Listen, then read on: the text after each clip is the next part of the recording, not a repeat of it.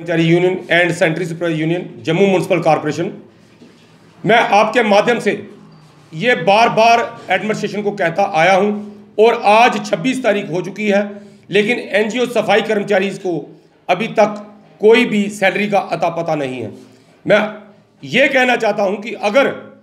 कल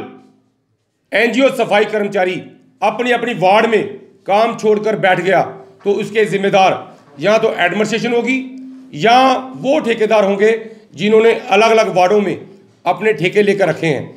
क्या उनका हक नहीं बनता कि आज कोविड के टाइम पर इतनी महामारी हो चुकी है कि पूरे जम्मू शहर को हमारा सफ़ाई कर्मचारी बचा रहा है, लेकिन उनके बच्चों के लिए सैलरी तक नहीं दी गई कि उनका बच्चा जो है भरपेट खाना खा सके। मैं आपके माध्यम से ये कहना चाहता हूँ कि जो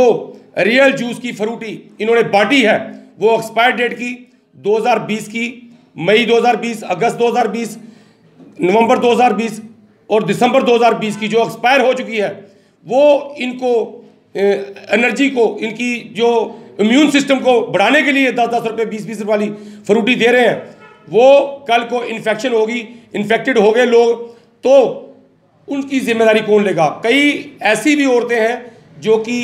प्रेगनेंसी भी है कईयों को, और वो जूस पीकर अगर कुछ मिस हैपनिंग हुई तो उसकी ज़िम्मेदारी कौन करेगा? मैं ऑनरेबल मेयर साहब ऑनरेबल चेयरमैन साहब कमिश्नर साहब लेफ्टिनेंट गवर्नर साहब